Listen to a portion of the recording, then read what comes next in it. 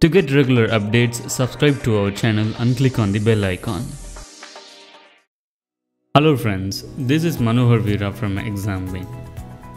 We thank you very much for supporting our new learning series. If you want us to continue to make videos like this, please give us a topic suggestions in the comments below. If you are new to this channel, please subscribe to our channel to get regular updates. In today's session, we are going to see about GDP, that is national income. We'll be seeing why it is important and how it is calculated in India and across the globe.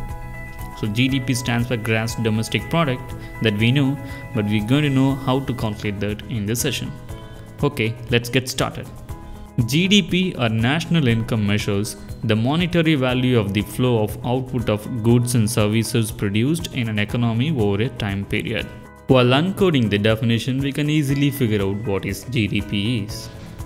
It is monetary value, that is, value expressed in a designated currency, and output of goods and services.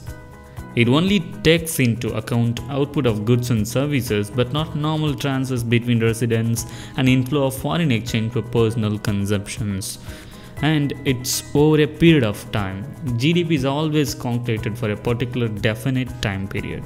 Usually it is one year. Measuring the level and rate of growth of national income is important for keeping track of the rate of economic growth, changes to living standards, changes to the distribution of income between groups within the population. So, the gross domestic product is the total value of output produced in a given time period. GDP includes the output of foreign owned businesses that are located in a nation following foreign direct investment. For example, the output produced at the Nissan car plant in Chennai contributes to India's GDP even though Nissan is not an Indian company. There are three ways calculating the GDP, all of which in theory should sum the same amount. They are national output value, national expenditure that is aggregate demand value and national income value. In theory, all these values will be equal. The first method is expenditure method that is aggregate of demand. The full equation for GDP using this approach is GDP is equal to CIG plus X minus M. Uh, to expand this, C is consumer spending, I is investment, G is government spending, X stands for exports, and M stands for imports. So it is like summing up all the things like consumer spending, investments, government spending, and exports and then reducing imports from that value will give you the GDP of particular year.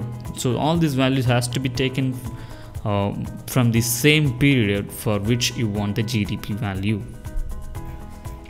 The second method is income method. GDP is the sum of the incomes earned through the production of goods and services. This is income from people in jobs and in self-employment, profits of private sector businesses, rent income from the ownership of land. These put together will form gross domestic product in the income method. Only those incomes that are come from the production of goods and services are included in the calculation of GDP by the income approach. Thereby, it excludes transfer payments, that is, the state pension, income support for families and low incomes, the jobseekers allowance for the unemployed, and any other welfare assistance such as housing benefit and incapacity benefits will not be taken into account. Private transfer of money from one individual to another will also be not taken into account. And the major thing is incomes that are not registered with tax authorities. Every year, billions of rupees worth of activity is not declared to the tax authorities. This is known as the shadow economy and it is otherwise known as black money. The published figures for GDP by factor incomes will be inaccurate because much of the activity is not officially recorded. The third type is GDP by output. Gross value added and contributions to a nation GDP. There are three main wealth generating sectors in an economy manufacturing and construction, primary which includes oil and gas farming, forestry, and fishing, and a wide range of service sector industries. This measure of GDP adds together the value of output produced by each of the productive sectors in the economy using the concept of value added. Value added is the increase in the value of goods and services as a result of the production process. So the value added is equal to value of production minus value of intermediate goods. For example, you're going to buy an onion dosa from a restaurant for rupees 60 and this is the retail price and will count as consumption. But the dosa has many ingredients at stages of the supply chain like rice growing farmers, batter makers, onion producers, various masala ingredient makers, and also the value created by the restaurant as they put the dosa together and deliver to the consumer. So there are many supply chains involved in it. Some products have a low value added. For example, cheap t-shirts selling for little more than rupees 99. These are low cost, high volume and low priced products. Other goods and services are such that lots of value can be added as we move from sourcing the raw materials through the final product. Examples are designer jewelry, perfumes, meals in expensive restaurants, and sports cars. And also the increasingly lucrative computer games industry and software industry. In manufacturing and industrial, manufacturing is one of the production industries, which also includes mining, electricity, water, waste management, and oil and gas extraction. In the year 2016, the Indian manufacturing and industrial sector accounted for 29% of the total Indian GDP value. The process of business of producing goods in factories is known as manufacturing. Simple. The part of a company that is concerned with making goods rather than designing or selling them is known as manufacturers or industrialists. The creative force behind 10 billion unique products is manufacturers. It accounts for 15 to 20% of world economy and it employs roughly about 5% of the world population into it. Next we're going to see about the service sector industries. Services are part of the tertiary sector of the economy there are many different service industries, some focusing on business to business and others business to consumer products. At present, service sector industries is giving the maximum ratio in the GDP of Indian values by 2016.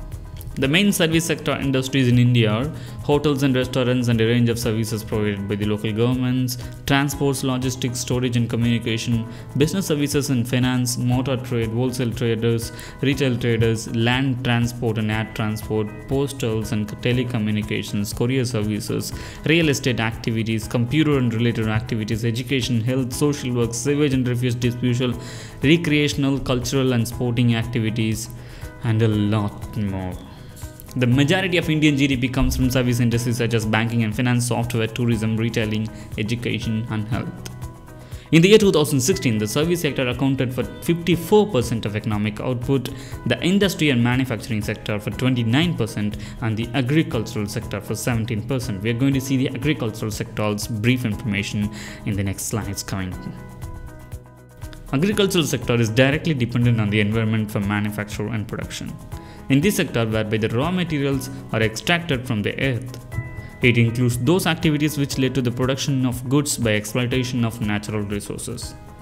Agricultural sector includes agriculture, forestry and logging, fishing and related activities and it is accounting for 17% of India's GDP as we have seen in the earlier, earlier slide. The last thing we're going to see is per capita gross national income. So we have calculated GDP using any one of the three methods. In India, we follow the method GDP value of output. So very recently by 2013, I think the GDP calculations base year and the pricing methodology has been changed that we will see in a different session. And the last thing to finish up this session is calculating per capita gross national income from the GDP value. How much does each person earn on average in a country? We use per capita measures to give us a guide to this. Income per capita is a way of measuring the standard of living for the inhabitants of a country. The gross national income per capita is equal to gross national income divided by total population. Per capita income means income per head of population. So uh, so it is equal to total GDP value divided by the total population of a country. For example, if India's GDP value is 1000 lakh crores means we will divide it by 120 crores which is the population now and we will get the figure per capita income. In many countries like India, the official population data is taken once in 10 years or 15 years. So it is not accurate for every year. So from the statistics available, India's per capita income is $263 in 1980 and it's gradually increased by 1990 to $363 per annum. And by 2000 it increased to 438, and suddenly it grown up to $1345 per person per annum in 2010 it's mainly because of the growth in the software and banking industry in 2016, it stands at $1,709 per person per annum in India. So we have given the uh, snapshot of those details here. You can look at it by pausing the video. With this, we have come to the end of this session. In the next lesson, we will be seeing the difference between the actual and nominal GDP values Friends, if you like the video, please share with your friends. And without forgetting, suggest us topics to make our next video. Thank you.